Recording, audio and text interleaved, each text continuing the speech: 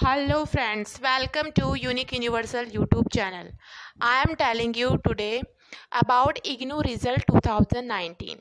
Indira Gandhi University recently uh, released the term end examination result online at the official website at www.ignou.ac.in. Students will be able to check IGNOU result from uh, in description box. IGNOU had conducted the TEE 2019 from June 1st to 29 2019 students 9 digit numeric enrollment number is required to check the IGNOU result.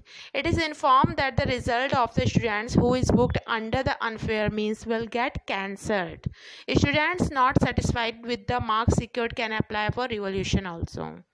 And main thing most important thing i am telling you this is just only early declaration result.